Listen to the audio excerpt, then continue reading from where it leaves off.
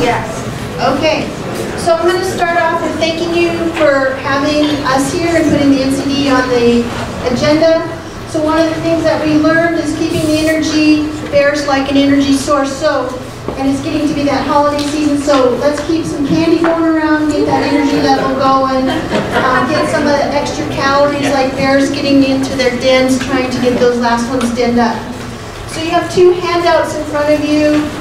Um, so after last year's fall meeting at this time, we were asked to go back and validate our five-year plan. We talked about that yesterday. We submitted our draft plan as asked last January. We revisited it at our subcommittee meeting in the spring, and I pulled out what we approved in the spring. We have the formal plan in front of you just for 2015. It's the same outline for each year in our five-year plan.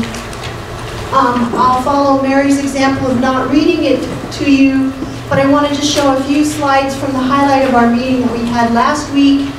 And I have in the audience several folks that will help make sure that I don't say anything wrong because I am not the scientist or the biologist expert that many support the NCDE are. And so Cecily, Lori, Chris, and others are going to step in if I were to misrepresent anything. So we're going to talk about some of the demographics and the results. Just uh, reviewing where we had the trend capture zones. It started from the um, density as re reported out by Kate Kendall from the USGS and the DNA study. So this was the trend capture zones of what our target is that we're trying to have collared out there on the landscape within the NCD. I don't know where stand so I'm not way. So this year in 2015, the number of individuals captured, um, and you can see the different types of how they were captured. 43 were captured, 43 individuals with a total 45 captures. This has both the research and the augmentation and the management. Shows where the captures occurred.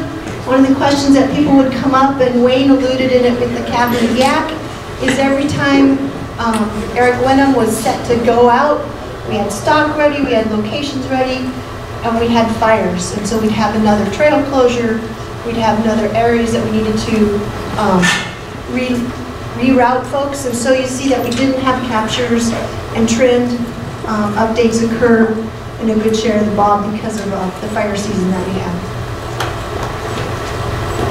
This is the fate of the radioed research bears in 2015. So you see that um, 25 females were alive and went into the den, three males. We have unresolved two collar, collar failures that they're still working on, one dead female, so we have a total of 33 females and five males. There's the fate of the radio management bears.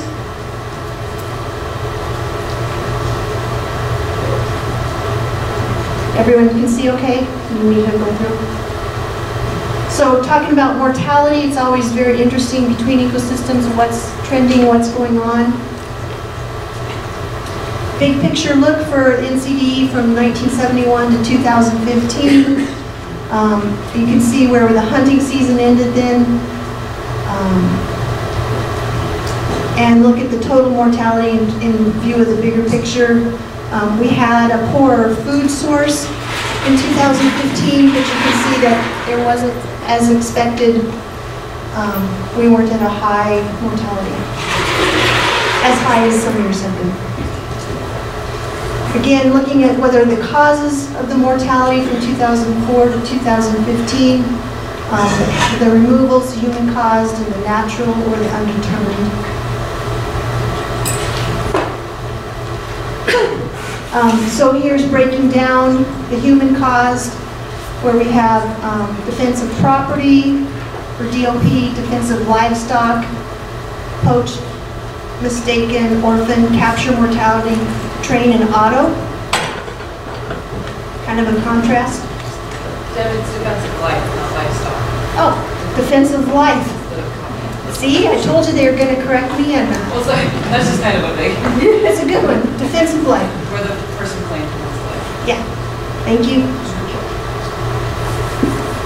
All right, so 2015, a lot of discussion about um, our ecosystem, six grizzly bears killed by autos, and collisions on the road systems and the highways. So this was a big discussion point for us at our meeting, and um, don't know if anyone wants to add any of those details for folks, but just be aware it's, it's not a usual trend we have that many hit by autos.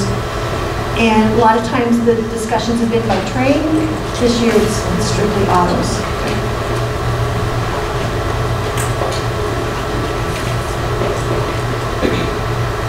Agency removals, um, gives you an idea, the different contrasts that have occurred.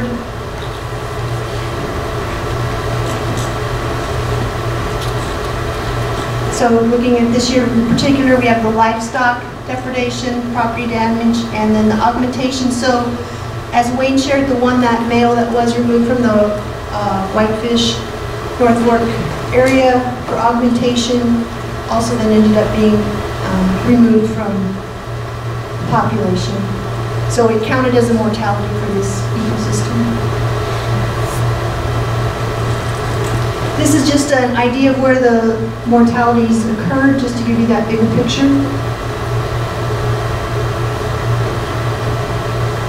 Ownership of where the mortalities occurred.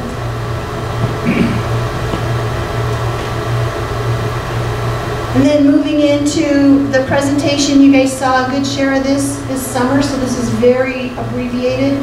Um, as Rick Mace was moving on and Cecily has moved in, her updated results and sharing information with us.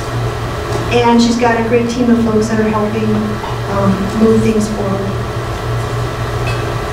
So as we view our draft conservation plan, these are the monitoring that's in place and uh, trying to move forward here. The blue area represents the recovery line from 1993. This shows you that all of our bear management units met occupancy criteria from 2010 to 2014. And the different colors rep represent the years that were occupied. Just the bear distribution from 92 to 2002. And you can compare it to 2004 to 2014.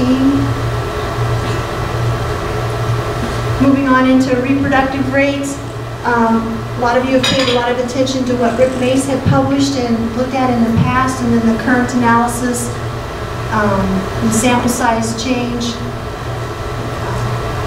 putting all the bears into it for some good reasons and we're still seeing the similar results. One of the things that um, did a great job in sharing with all of us is that what we really know is the agency removals and the radio mark deaths. They're well documented, you know, so you have you really know that part of the equation. Other deaths must be discovered, reported, so you have a high frequency of reporting when you have automobile, train, defensive life, defensive property, mistaken ID, and then low reporting with your poaching, natural, undetermined. This is a sample calculation that Cecily went through with us of how things that when you know how it gets estimated with all the science brought into it.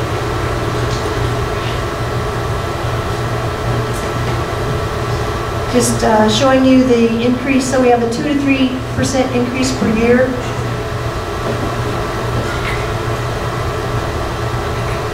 And then the causes of death from 2004 to 2014, seeing the estimated proportions um, applied there from the radio marked and research bears. So in summary, that the primary conservation area is fully occupied by reproductive females since 2009.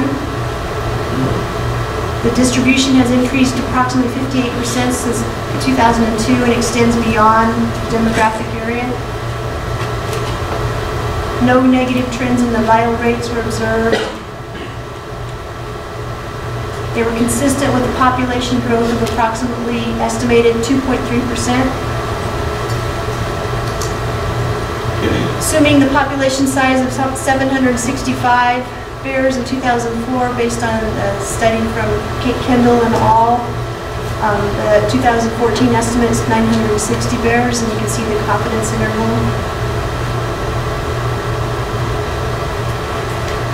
And we've increased 2 to 3% per year.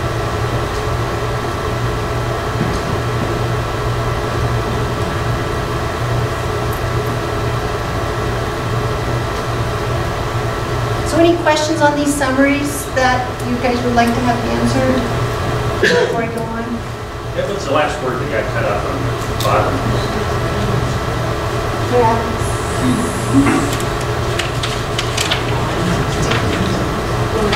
Delisting. Delisting, Line. Forty-five. Line is that bottom word. decline. Thanks. And next time I will have Lori and Cecily do the presentation. Or recommended Jim that they do it more for the expertise they can provide. But as you've heard it before, I wanted to make sure we just went through the basic numbers here. So I wanted to just share uh, a snapshot of some of the bear management specialists. We're fortunate in NCD to have a wide range of experts out there. And I want to bring attention to issues that got brought up um, that we haven't put as much thought into. Mike Madel is bringing up the calf keep creep feeder issue that are coming out as bears are expanding, and so we think about the Rocky Mountain front and how far out they're going. Um, corn and the cornfields are becoming a very big deal, and so most of us don't think about the agricultural impacts. Um, Chickens was not a big topic this year, but if we can't let chickens fall off the screen because they will continue to be with our, in our communities and around. It was suggested to us that we recommend everyone not be allowed to have chickens. That's not within the purview of our subcommittee, nor do we want to tackle that issue. Um, I got a few pictures from Tim Manley and from Mike Madel, two of our bear management specialists, just showing you once we do have habituation that uh, you have a lot of things that can happen. I just put this up because we were reminded, again, by the professionalism and the skill and dedication, how much the caring goes into the animals that are handled, both from management and research and for conflict, and how much it means to the landowners or the um, occupants to be engaged and involved and and meet and see those bears, um, what that means when they're included in hands-on discussions and on-site. So like, when we have a bear that comes to the ranger station for relocation, if we get to send somebody out and having them help or be in the vehicle as they observe that relocation, or um, as one of the bear management specialists has a landowner engaged in, um, whether it's with the release or with the drugging handling and loading of bear, it really makes a difference of future outcomes. You want to, Greg, you want to do that?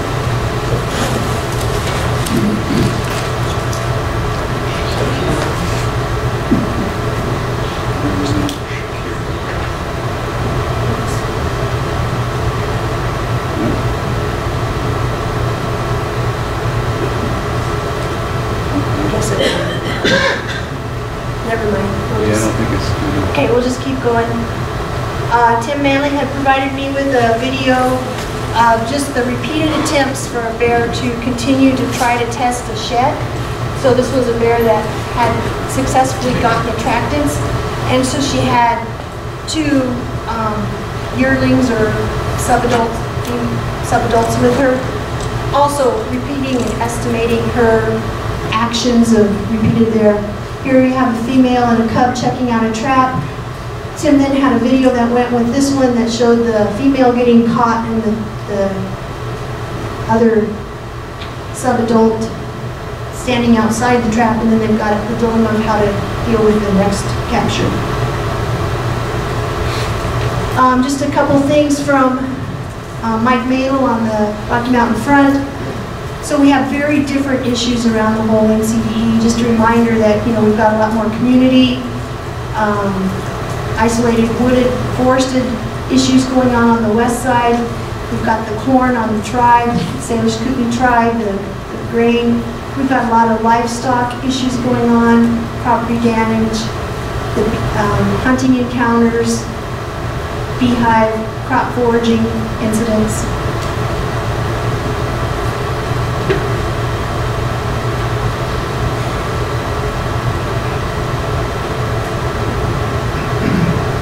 I found, personally, I found the digging of the bears with the electric fencing, trying to fence the grain silos, and traditionally the folks storing the grain haven't worried if you had some spillage going out.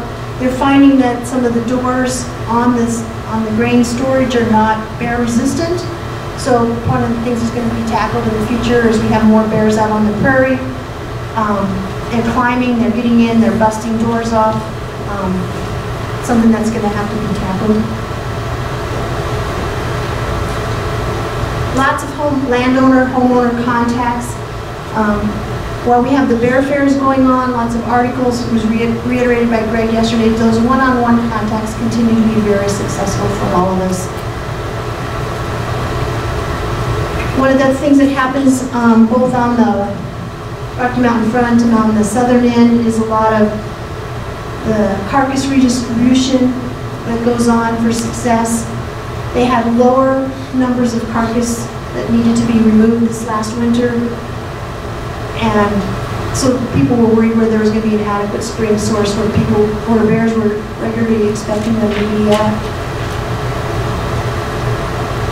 Other things that, uh, the fencing and the partnerships that we have, this is a new propane gun shooter that uh, we were told how effective it was being in certain cases. So the more tools and tips we can give to these folks to be successful, um, the better off they are at making sure we don't have mortalities occur.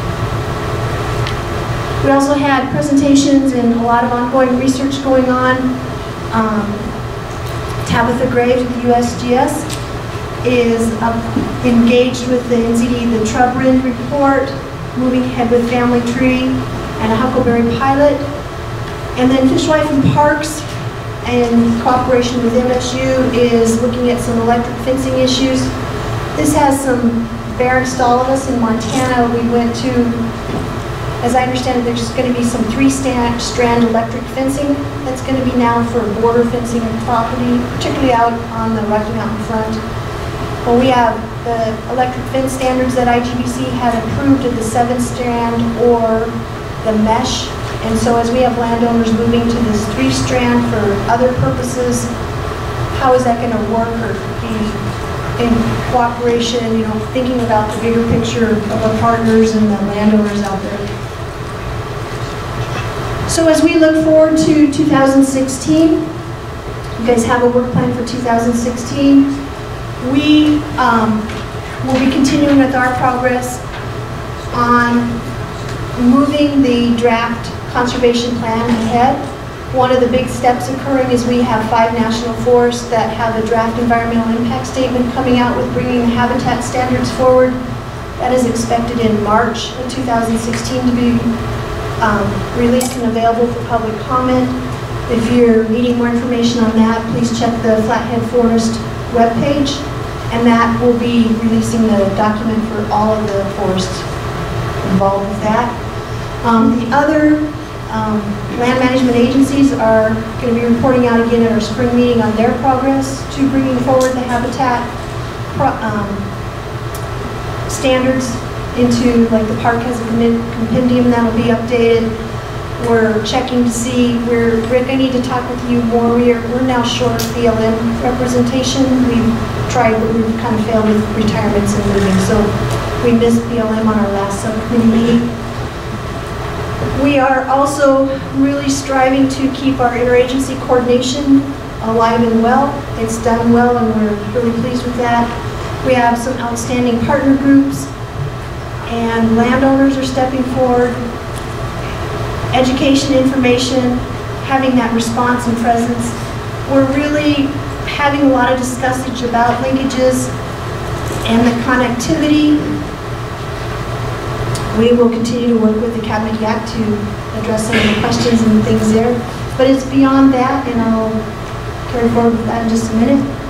We are also trying to get our counties or communities a little bit more engaged. We do not have a county rep or multiple reps on our subcommittee. There there never has been. So we've um, had the agencies and the tribe, tribes, and we're trying to work forward to get county representation and some community more engagement there.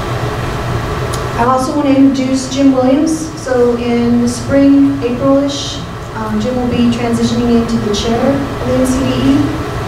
And he just wanted to mention just a couple things that are important to him with the linkages and connectivity.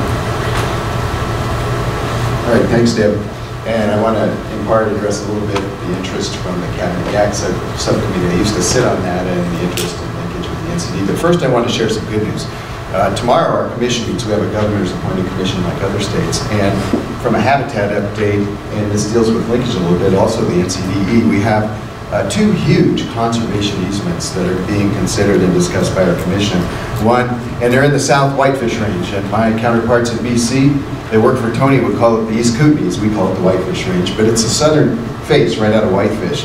We have a conservation easement on Haskell Creek, which is the water supply for the city of Whitefish, and we have a conservation easement proposed in Trumbull Creek. Both of those are Stoltze family forest lands kind of similar to Darkwoods or our Montana Legacy project that we've done with uh, corporate timberland owners in the past. That's super good news.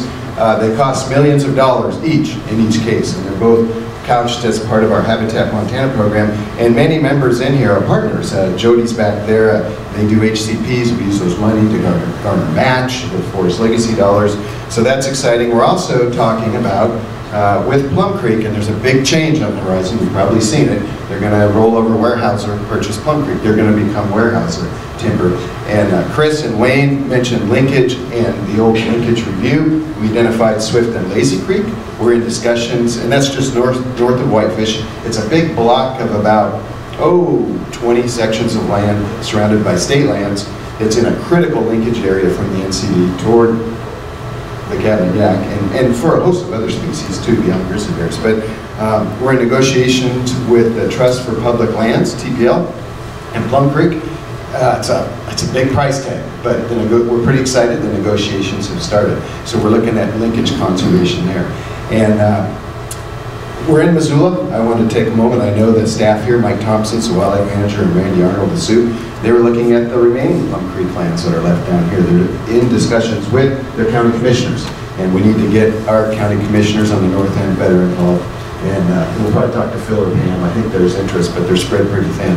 Uh, Gary's here from the front. We have an ongoing part of our Habitat Montana program. We've done some uh, really big projects for easements and acquisitions on the front, and frankly, a linkage between the Yellowstone and the NCDE. We, uh, Gary shepherded a huge project through with the wildlife staff, Ken and uh, Rick Northrup. It's called Whitetail Prairie. It's an addition to the Beartooth. That area, the Beartooth Game Range is right next to the gates of the mountains. That area just happens to sit right between the NCD and the Yellowstone. So we've got a lot going on on the habitat front, front where we're literally spending millions of dollars that impact the NCD in a good way. So I just wanted to share that with, uh, with the committee. Um, linkage.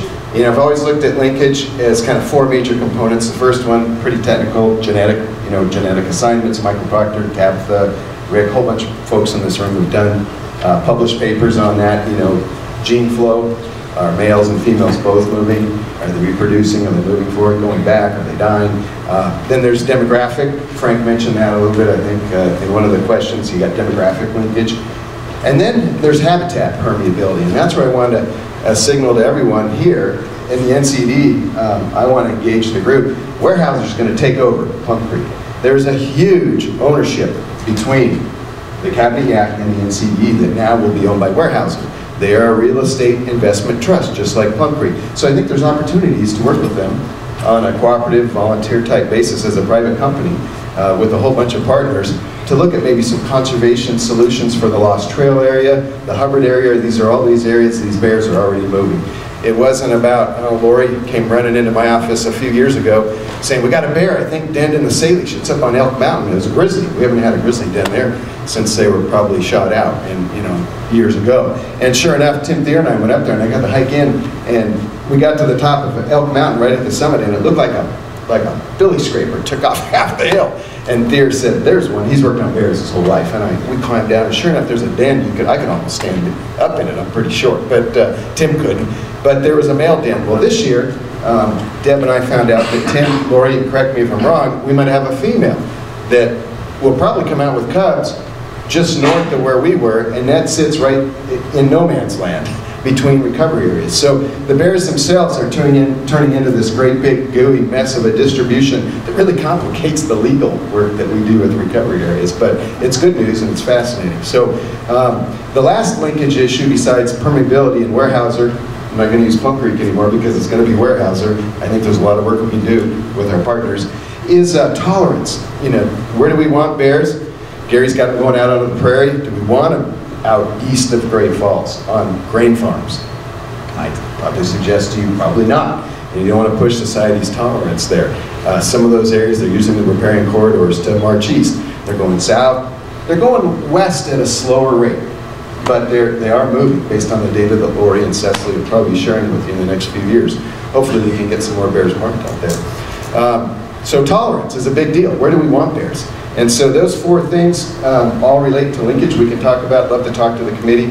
And then the last one is the conservation strategy, how we define linkage in there that potentially is subject to litigation if, if metrics aren't followed. And, and linkage is really complicated. I deal with it with BPA and fisheries and wildlife and crediting, so we have to be real careful as we put uh, requirements for linkage in any, any document. Who gets the credit when there's multiple money sources and everyone wants credit for a project on the ground. So it's good news, but it's pretty complicated and, and love to have that discussion. So thanks, Dave. Any further questions from anyone